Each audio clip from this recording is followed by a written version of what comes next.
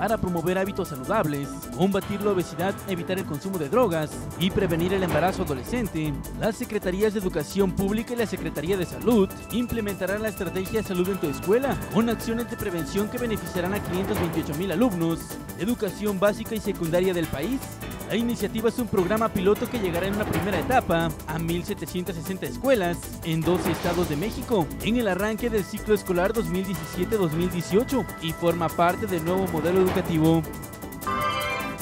A partir de este 22 de mayo en la página de internet citamedicadigital.ims.gov.mx, los derechohabientes del Instituto Mexicano del Seguro Social podrán agendar una cita médica. De esta forma, el IMSS facilita al derechohabiente la posibilidad de agendar, consultar y cancelar sus citas a través de internet sin necesidad de acudir a una unidad médica familiar, con beneficios como no hacer filas, obtener citas de manera rápida y sencilla, eliminar gastos de transporte y disponibilidad de 24 horas.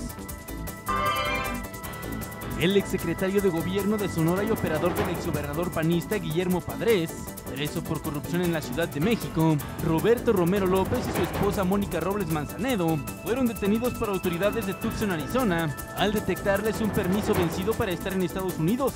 La Procuraduría General de la República solicitará su extradición para que respondan en la Fiscalía Anticorrupción de Sonora. La pareja era buscada por la Interpol en 190 países. El gobierno de México, a través de la Secretaría de Relaciones Exteriores, condenó enérgicamente el atentado terrorista perpetrado en el Manchester Arena de Inglaterra, en el que se registraron 22 muertos y 59 heridos. También expresó sus condolencias con el pueblo y el gobierno de Reino Unido. La Embajada de México en este país descartó que haya connacionales entre los fallecidos o heridos. La Alianza por la Libertad de Expresión en Michoacán exigió la aparición con vida del periodista Salvador Adame Pardo, quien fue privado de su libertad la noche del pasado jueves 18 en el municipio de Mújica, en Tierra Caliente. Demandó al gobernador de ese estado, Silvano Auroles Conejo, justicia y seguridad para el comunicador.